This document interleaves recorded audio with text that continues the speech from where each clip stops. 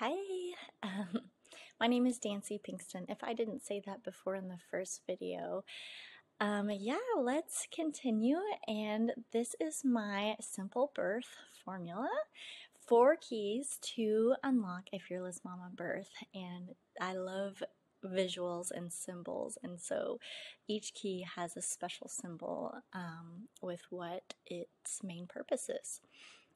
So, Number one, the very first key is pelvic prep. Your pelvis more than likely needs balance during pregnancy to reverse poor posture habits. We are generally sitting, you know, slouched in the chair or riding on long car rides, um, crossing our legs etc., um, which can cause tight and torqued pelvic ligaments. Um, when ligaments are not balanced, it can cause a stall in labor um, because of the malpositioned baby that can easily get engaged, um, that can't get engaged in the pelvis. So, um, yeah, so it can stall labor if your pelvis is not in alignment. Um, pregnancy stretches and exer- or exercises.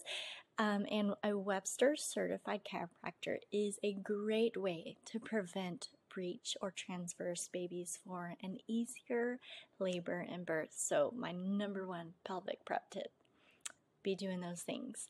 And I have a pregnancy stretching exercise that I love for mamas to do. Okay, so your pelvis is made to expand. Your baby's head is made to mold. Um, have you ever seen those cone head babies? Yes, that's that is natural, that's normal, and exactly what that baby needed. Um, anyway, so when a birthing woman comes off her back and either turns to the side, such as laying on your side, um, she could either stand or like just somehow forward lean, like this mama right here, onto something. Um, it allows a combination of bones in the lower back and sacrum the freedom to move and create more, and it creates more room in the pelvis with less pressure on the tailbone. So, this is that little bump on that mama's um, lower back is called the rhombus of Michaelis and essentially the sacrum just kind of expands and you know creates more room. So um, yeah the best positions to allow your pelvis to expand definitely that upright or just off off your tailbone off your back Okay, so this is where you prepare your body and learn how to support labor progress. Your pelvic floor supports a birth mechanism called the seven cardinal movements, which is the internal fetal rotation that happens during birth to accommodate the changes in diameter of the pelvis. This is so interesting, you guys. So, there are three layers of the pelvis at the pelvic inlet, the top, um, the diameter of the pelvis is widest from right to left. Um, so, making an LOA position most optimal for baby to be in pre labor. So, you could see the little baby, kind of, her head or his head is turned sideways. Um, so, at the pelvic outlet, the diameter is widest from front to back. So making OA most optimal for crowning. So you can see the baby is facing um, towards the mama's spine. So different labor positions can open parts of the pelvis, um, inlet, mid, and outlet um, to its widest diameter, such as internal thigh rotations, knees together, yes, knees together, ankles out, opens the pelvic outlet. So it's best for pushing, um, for a smoother pushing stage. And we go over tons of different positions that are epidural and um, non epidural friendly in my program. So, pelvic prep. Okay, I just wanted to go over kind of my two stories here. With my first birth, because it impacted me so, so much, this pelvic prep key. But I, okay, so I exercise daily and I had some minor ligament pains and achy hips towards, you know, the end of my pregnancy, you know, regular stuff. The last week of my pregnancy, I discovered that my baby was sunny side up, which is not an optimal birth position. It's actually connected to lots more back labor and stalled early labor. Um, so, I really, really felt like this was causing me to be stuck in prodromal labor. I was, you know, contracting for about five days, it seemed like. Um, so, um, I frantically was researching stretches to relieve the pain and just kind of the contractions, and also did a set of exercises to get baby turned around. Yeah, so she was facing my belly, and I needed her to face my spine or to face sideways to, um, yeah, get in a good birthing position so labor could pick up and start. Um, I did these exercises three times in one day morning, noon, and night. I felt my baby spin sideways um, on my way to bed, like was not thinking I was going into labor or anything. I was just gonna go to bed. and then before I knew it, um, my water broke and I went into active labor um, that same night and had my baby in my arms three hours later. So just three hours of active labor. It was the best. I thought it was 30 minutes. um, so with my second pregnancy, I decided um, to do a weekly Webster certified chiropractic uh, care as a form of maintenance for pelvic balance and pregnancy comfort. And I paired it with those daily prenatal stretches um, that release and balance inner pelvic ligaments. Um, throughout pregnancy. So, setting myself up for success in pregnancy was really important to me. So, my pregnancy actually felt amazing compared to my first. My hips, I had no aches and no pains. And, you know, when you sneeze and you get that like sharp pain, I had none of that. Um, and I think it was due to the chiropractic care.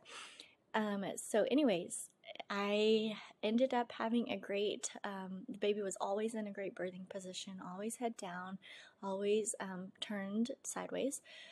Um, I mean, facing sideways to enter the pelvic inlet. Um, and, anyways, my labor and birth ended up being just a half an or an hour and a half. So cut cut my time in half, my labor time.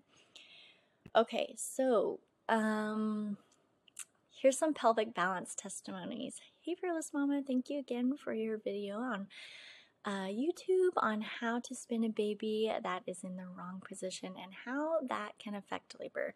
Our little girl is born safely thanks to you. This is one of the positions she did um, pre labor. So, Dancee, we delivered our little boy. As you saw, I have done your pelvic your videos every day leading up to his birth, and for the whole night I was laboring. When we got to the hospital, uh, we barely made it to our room, and we were able to have such an easy, quick, and natural birth. Um, I wouldn't. Uh, I don't think I would have known about all the pelvic stretches and exercises that it um, and that it would have been so quick and seamless. Okay, hey, fearless mom and birth. Hi. So we had our baby girl, and she stayed head down after she ended up having a hospital version where they tried to, you know, get a breech baby to flip. And all your videos helped me, I'm sure of it. Not to mention the peanut ball, the flying cowgirl, um, once we were in the hospital for labor, really got things going. I went from four centimeters, bulging bag of water, and non painful contractions to water broke, then baby born two hours later after doing that exercise. And I kind of I have it pictured right here. Okay. Key number two. This is so important. um, the hormone oxytocin is the hormone of love. It is responsible for stimulating uterine contractions that help thin uh, or efface and open or dilate the cervix, which simultaneously builds the top of the uterus, the fundus, that eventually triggers the fetal ejection reflex that pushes the baby out of the birth canal. So, um, and I love this picture. Um, and you can see the cervix. Uh, I don't know if you can see my thing, my key, my mouse, but the cervix essentially is gone uh, from the left to the right. But I'll, I'll, tell you, it's not just disappearing into thin air, it is building the top of the uterus. And so you can see how this, the right um, image, the top of the uterus is thicker. And that's what we want. We want it to build a thick um, and get stronger at the top of the uterus to eject baby out because you're, like I said, you don't need to be pushing. Your uterus knows exactly what to do. Okay, so your labor hormones need guarded and protected from things that are a threat, which releases stress hormones. And unfortunately, that blocks or inhibits your body's natural pain killing endorphins. Um, so you're going to feel more pain if you're feeling threatened or if these hormones are not working properly. And in, it actually inhibits oxytocin. So, um, yeah, maybe stalled labor is happening. So let me go over some, let me go over this chart. It's so a threat is a signal um, that signals to the brain, releases all these stress hormones like cortisol and adrenaline, and um, some physical effects. Like I said, um, it inhibits endorphins, it inhibits um, your pain killing, your painkillers, natural painkillers, and it inhibits your, you know, pro- productive contractions. So, what this would look like, not really a tiger, would be, and what this um, trigger is, it's sending you into fight or flight mode, um, your body's natural response to protect you. Um, it's not helpful in birth, not helpful at all. um, so there there may be some specific triggers to you, but some could be the following: white coat syndrome. I I personally have white coat syndrome. Like if I'm at a hospital or at the doctor, I just get freaked out and my heart starts racing and I don't know what that is, but it's it's me and that's what happens. So um anyways, fear uh thankfully with my hospital birth it was just me and Josh in the room. I don't think they realized like how far along I was. So it was just me and him, and I didn't really feel panicky or anything like that. But okay, fear of the unknown, um, just not knowing what's going on or what's going to happen next, um, not knowing if this is normal, if this is not normal. Um, bright artificial lights can um, trigger this fight or flight response, raise stress hormones um, feeling cold, uncomfortable procedures, interruptions, disturbances. so, um, unwelcome people, noise, um, you know, family members that are barging in and disturbing your rhythm. Feeling observed. Maybe there are some, you know, students in your room that are kind of making you uncomfortable um, or that grandma that's like, when is this going to happen? okay, so hormone prep, your thoughts, birth team, birth environment, interventions, etc., can trigger adrenaline. And it's important to discover that we can, or what we can avoid, or do to boost labor hormones that is specific to you. Um, it is also important to discover what brings us peace and relaxation.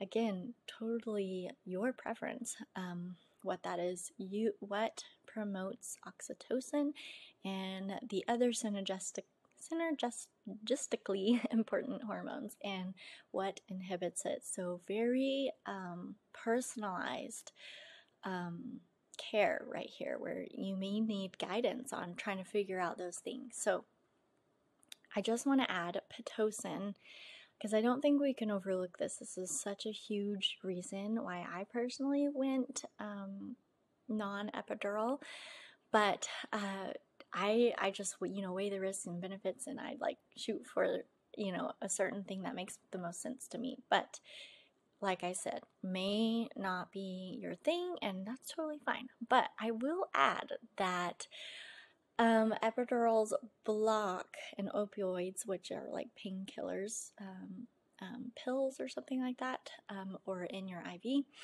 they block your natural pain killing endorphins. Like, so you're just depending on that to help you. You're no longer, you know, your body's no longer going to be producing those naturally. Um, so it also blocks endorphins and inhibits oxytocin. So, kind of from there, you're um, you're going artificial with trusting in those um, synthetic hormones. So it's um, pitocin is synthetic version of oxytocin. So man-made, um, it's not you-made like oxytocin is. So which is responsible for the natural productive contractions. So we really need those. And um, so it should be considered that uh, the chance of the drugs not working properly or effectively, which is 1 out of 10 by the way, potentially slowing down your labor and possibly leading to other interven- interventions, which was exactly what happened to my sister um, and kind of how her birth went from, you know, going well to being traumatizing. the epidural did not work. The Pitocin was just too strong. Everything was too powerful. And um, yeah, it, so she had nothing. She had no natural pain killing endorphins going for her, and the epidural didn't work. Um, so you can pause this and look at kind of the labor hormones, but we kind of spoke over one. I could go over um, well, we'll go over them in the next slides, I believe. But these are labor hormones, and I go into like kind of what releases melatonin, prolactin, endorphins, and oxytocin with special, unique ways. And then, uh, if adrenaline is produced, what is stimulating that? Um, and also, um, what is inhibiting each of those hormones commonly. So, the pain cycle can be entered through fear or through tension or both. Typically, it starts with the perception of birth. Um, if mother's perception of birth is negative, she acts accordingly to protect herself by most commonly tensing her body. Like, have you seen a mama in a contraction just kind of tense? Um, holding her breath, uh, those things are so common, but um, actually hurting you, um, making it more painful. Breathing and body relaxation techniques are crucial to calm the nervous system. Um, because we're talking to that vagus nerve, trying to calm that down, saying, You're fine, you're fine. And to bring fresh oxygen to the uterus so it can work properly. Um, so yeah, fear. If, either you're entering the pain cycle through fear, um, with um, you know you're frazzled, negative perception. Um, you're thinking in the past, thinking in the future, um, or you're entering the pain cycle through tension first, like where you're just feeling overwhelmed and unsafe. Um, you're tensing up, and then that's you know triggering that adrenaline where, yeah, you're feeling uh, scared or loss of control, lack of blood flow to the uterus, um, producing unproductive contractions because of it, um, and also, yeah, affecting your pain level. So, labor hormone boosters, relaxing birth space. Um, I describe the, these best into two categories intimate environment helps you give a picture of what the setting needs to be like warm and quiet dark to boost that melatonin. Um, you could do dim or natural sunlight. Contains home-like environments um, cozy inviting. The energy of the room should be just filled with laughter and love and confidence. Um, so kick those unwelcome guests out if they're not you know being positive for you. Um, this inter- intimate environment allows the mother to just be open and vulnerable and feel trusting and safe with a deep sense of relaxation to let go. Um, I already went over melatonin and things like that. So, romantic sensations. So uh, that's how you should kind of envision sensations. um, so, light massage, kissing, touch, warm baths, aromatherapy, soft music that is comforting, calming, and relaxing. So, um, is anyone you know, picking up on what I'm talking about.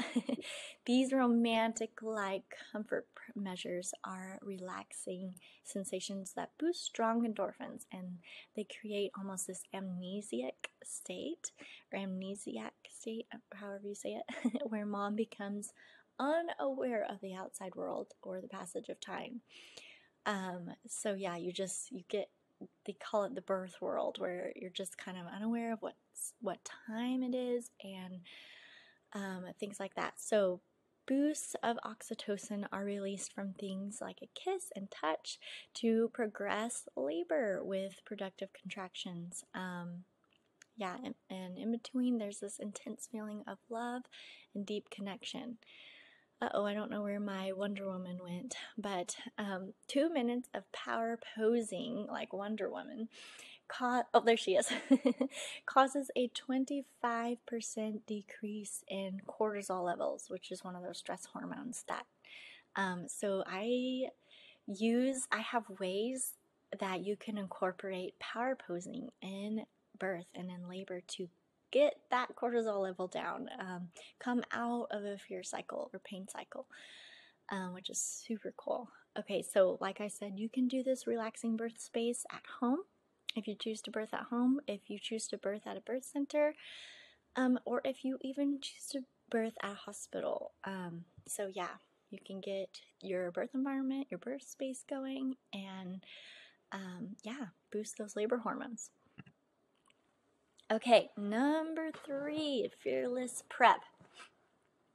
Having the curiosity to rid fears with the options and alternatives, trusting the process of birth, knowing the truth of how we are capable to transform, having the courage to instinctively and uh, instinct instinctually, I think is what I put, move, but you're using your mama instincts and listen to your your body, using that intuition and making informed decisions. Um, so, yeah, this gives you the ability to stay calm with a fearless mindset, um, which allows the body to produce positive labor hormones Okay, sorry, my daughter woke up from her nap, so now my husband is watching her, so I can continue. Okay, so where were we? This gives you the ability to stay calm and with a fearless mindset, which allows the body to produce uh, positive labor hormones to ultimately have a quick and easier easier labor. And that is what we all want right? Um, so i this over here is like a little it's called relaxation um, rhythm ritual where essentially a mom just kind of gets in this rhythm of her personalized coping style so here you can see me relaxing out of a wave or a contraction and then breathing in a rhythmic way throughout the contraction. So that's how I am relaxing. And then um, breathing, let's see, breathing out of the wave. Oh, and then breathing in a wave. So there's that. And I have so many more examples of what um, relaxation, rhythm, and ritual looks like um, and some that you could kind of follow for you to cope with in my program. So, also, positive labor hormones definitely are promoted when you're curious, like we mentioned. Um, knowing the truth, having courage and a calmness about you, um, the ability to move around and listen, and that, like I said, produces those productive cra- contractions and fast and easy birth. Okay, um, so this is where you break the fear of the unknown with education as well. Knowing what to expect and what to do with each stage of labor helps you to know what is normal. Um, so you aren't going, you know, to be taken by surprise and you you'll have the tools to support you. Um, so, eh, you know, the ability to stay calm and fearless is super, super important.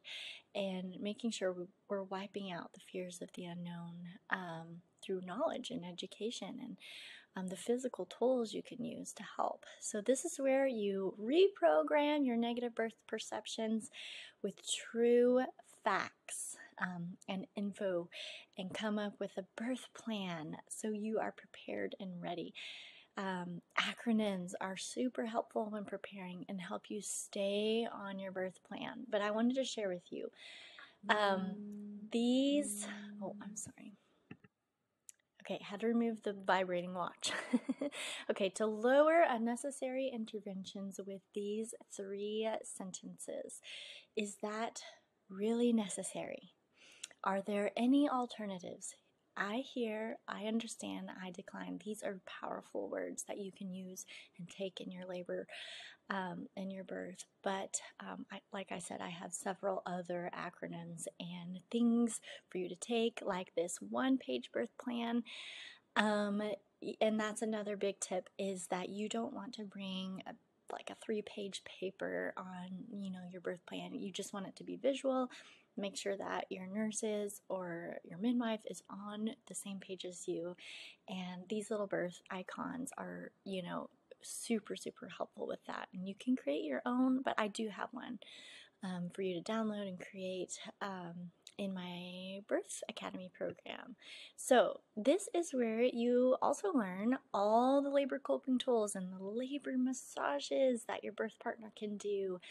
Um, these fast fiber neurons distract your brain from slow fiber labor sensations. So, for example, water therapy, a labor comb. If I don't know if you know about the labor comb, but we go into detail on that. A TENS unit, grounding touch, brush touch. Um, there's you know there's certain massages that really can um, just help give you energy and also boost those labor inducing hormones, but they're also playing with the gate control of pain theory. So, pressure points and more, and all the other ones, there's several, all work to crowd the brain with senses to cope with labor. So, um, super, super cool. It, it blocks essentially the pain signals, um, works with that um, your uh, natural pain killing endorphins to, you know, cope with labor. So, um, deep, this is a little bit of my story. Deep into my own labor, I had a moment of fear. I started to feel menstrual like cramping, and it reminded me of the pain I had as a teen dealing with dysmenorrhea, um, which is it's kind of like this just painful um, menstrual cycles, really, essentially, where I would like literally pass out. Um, anyways, which is a it, that is essentially what is a physical pain signaling that something is wrong with my health. Like I had hormones out of balance. Um, so, but labor contractions. So, that pain was signaling something was wrong to help me to fix it. And we did. We got that taken care of. That doesn't happen to me anymore. But labor contractions are something called a transformational pain, um, signaling that things are going good just as they should be and bringing you closer to your baby. And because I was having that sensation, I knew I was nearing active labor and I traded that false fear thought um, that something was not right with the this menstrual like type cramping, um, and then I I traded it with what was true. Um, those were good. It's good contractions, you know, bringing me closer to my baby. I knew exactly what to expect, and I knew it was all normal and brought me back that thought brought me back to peace. Um, so the nurses um, actually even called me a birth war- warrior with how I was coping with such strong uh, contractions that they could see on the monitor. And so that was super encouraging to me that I was like, um, just being staying so calm and coping with labor really well. Um, anyways, that would be nice to be called a birth warrior, wouldn't it? Um, okay, so let's go over some Fearless Prep testimonies. I just have to reach out and thank you for sharing your genuine heart experiences and knowledge in your videos as we anxiously await the arrival of our rainbow baby boy. We your videos have been so hugely helpful and calming in a market that can be very fear-inducing. You are real soothing and such fun to watch. Exactly what a mama needs at this time. Thank you for showing up for all of us. I'm certain I'm far from the only one who is so grateful. so sweet. Okay, this is great info. This is my second pregnancy, and I've been doing a lot more research about labor this time around. Your video gives an excellent summary of all the things that I have researched about promoting an effective and calm labor. Um, the shortest video I've seen in my education for preparation of labor, and I learned so, so much. Um, dilation isn't everything, is if that uterine pressure isn't built for an automatic ejection. so, we talked about that when you're building the fundus. Um, also, I wanted to point out she was preparing for her second pregnancy. I've dealt with even six time pregnant mamas, um, so they've had. Oh, they're on their sixth children and they say they've learned something um, or learned a lot of new things from me. So it's been so cool to mentor these mamas, these experienced mamas. So if you're thinking, you know, oh, I know what's going on, don't think that. Like, there's so much information you may not know. So we had our sweet little girl last Wednesday evening, and I just wanted to say a huge thank you for your video tips, videos, tips, etc. We had all an all natural birth and delivered in about three and a half hours. The doctors and nurses were so impressed and thought I must have taken a bunch of classes for how well it went. I told them it was your videos and Jesus. Thank you. I love that one. Okay, yeah, so she would, the her nurses, you know, saw that she was, you know, coping in such a different way, um, lively and um, calmly and um, that I love that part because, um, yeah, it it makes you wonder like, okay, well, how are you doing this? And then, yeah, the whole wave, the ripple effect of your experience can just be taken. Um, okay, this the the last key, mindful prep. I gave it its own key because this is so so important. So, so important. So, this is where you are shutting off your survival brain that we talked about with the fight or flight mode. This is part of your brain that wants you to fight or flight. We don't um, need that system in birth. In fact, the system can cause pain. But when we practice mindfulness, we stay in the present um, to prevent fear thoughts and to keep our brain, body, and um, breathing calm and peaceful. So, I just wanted to point out, I like to call it mindful prep. Um, other people can call it, uh, they call it hypnobirthing or something like that, but um, it's not hypnosis or anything. Um, um, but actually, it's bringing awareness so you're not unaware of what you're doing. You are actually bringing more awareness to your body and to things around you where um, yeah, it can distract you from fear, fear thoughts and from pain. Okay, so I wanted to go into detail on some of them because they're so important. So stay with me.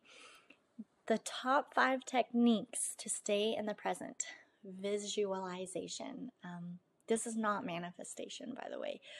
Um, it is a technique that Olympic athletes use to bring evidence to the brain that they can do it. So they're literally giving their brain evidence that um, they've done it in the past. Um, it's kind of like a brain trick. You're tricking your brain, saying, "Look, I can do it because I'm in visualizing it."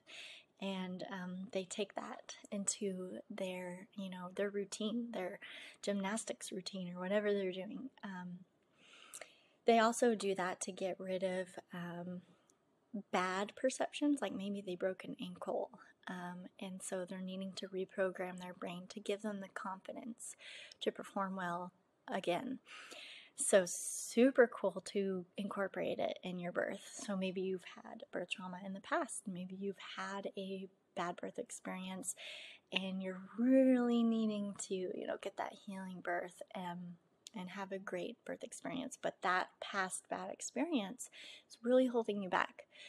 Um, okay, so muscle contraction and relaxation exercise.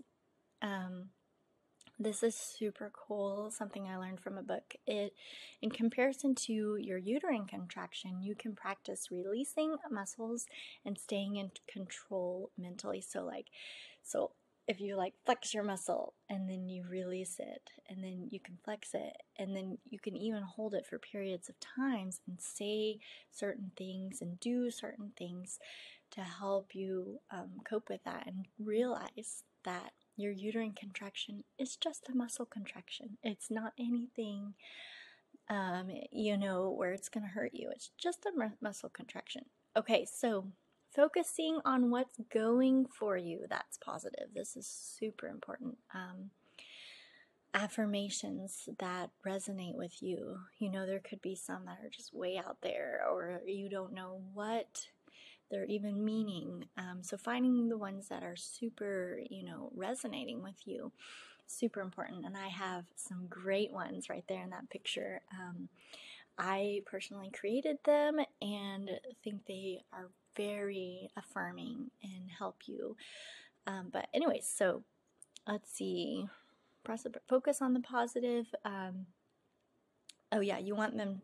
The, you want them to, you know, um, help you trust the process of birth, and then also focus on the positive. Watch, um, watch what you're saying. Um, are you speaking negatively? Are you um, portraying a negative future on yourself? Like, I remember someone was like, "Oh, I'll probably just, you know, ha- have to have an emergency se- section like my mom or you know, and I'm just like, why would you you know, let's talk positive about your birth and making and make sure that you are, you know, it's about the mindset. It's not about, you know, speaking. It's more of like your just your mindset, your belief in yourself, your trust in yourself. Um, so also, be careful who you're choosing to share your birth um, plan with and what you are. Um, what you share with others to protect your faith in yourself and your trust in yourself. So, um, think of those who have gone before us. This was a big one for me. Remember my friend because she did it. I so felt like I could do it too. Um, so trust in those that have gone before you.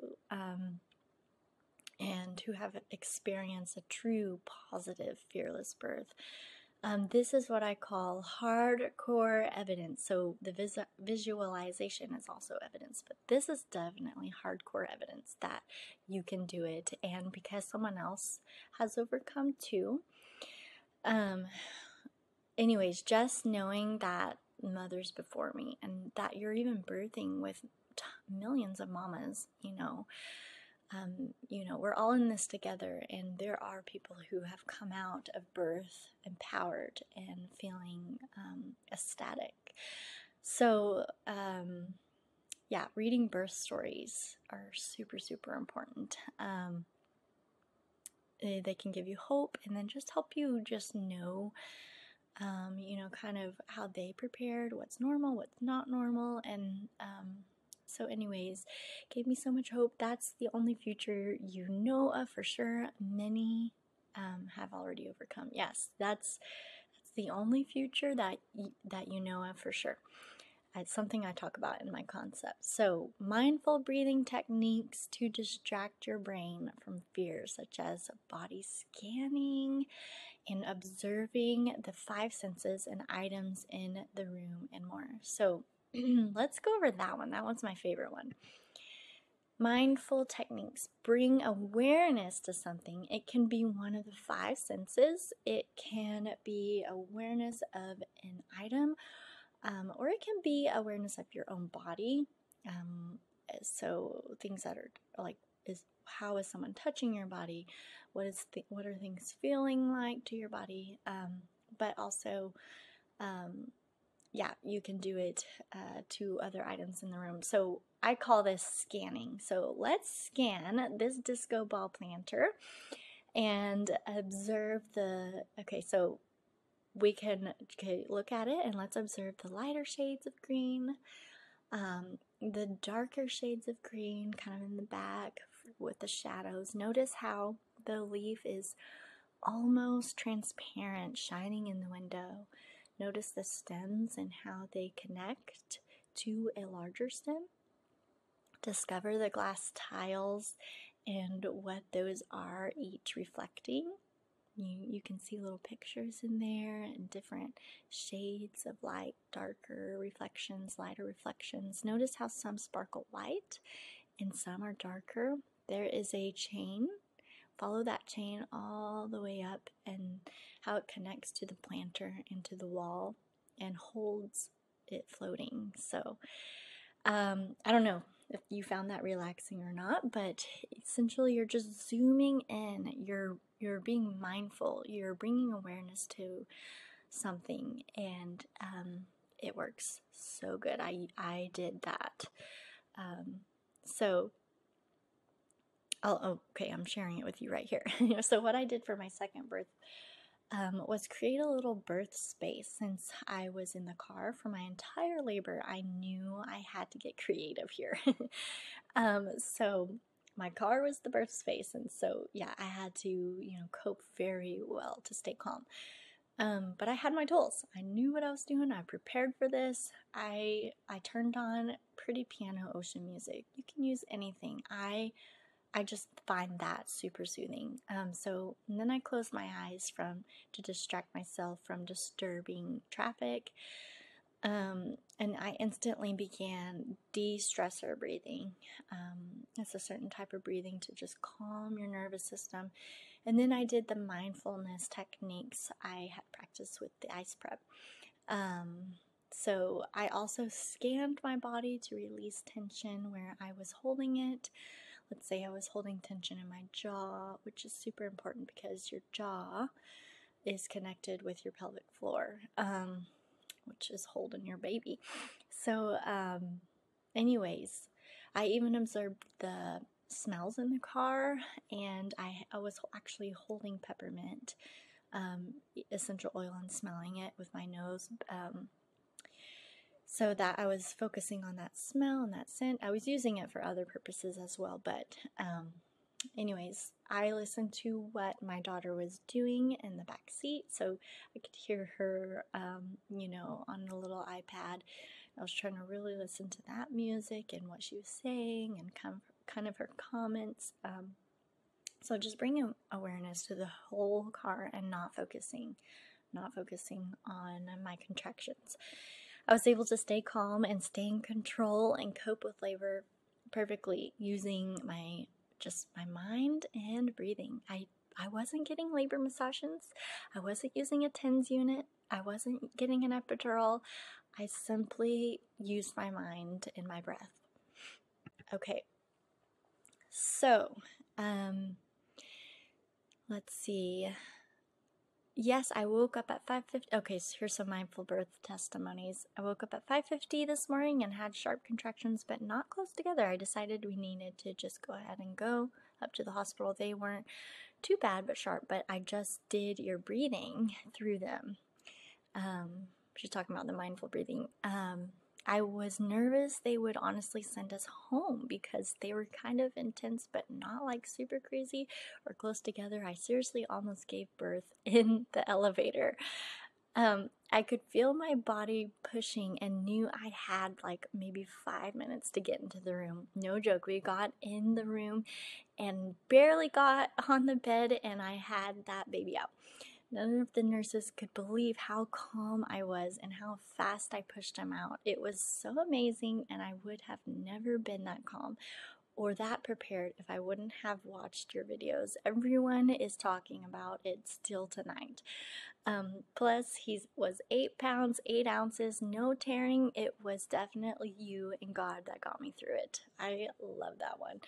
I love that one so much. Um, are you seeing a pattern here? Like, fast births, calm births. It's so amazing.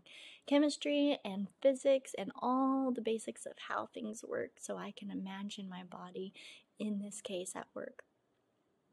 Um, your research helped so helped so. Uh, I guess she was going to say much. Thank you. I delivered my third child last Friday at home in the pool with my midwife, just checking baby's heartbeat twice.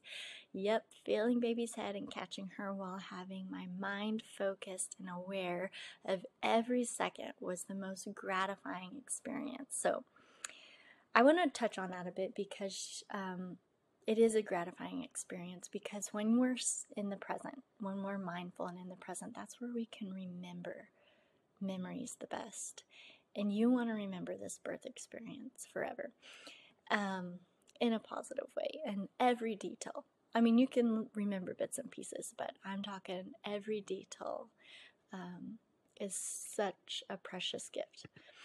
Okay, so how would it feel to be fully prepared for birth knowing the tools for a faster, easier, ecstatic birth? Ecstatic birth. Um, there's me giving birth, and the, the literal words that I uh, said after I caught my baby was, That was so fast. Like, it was just so fast.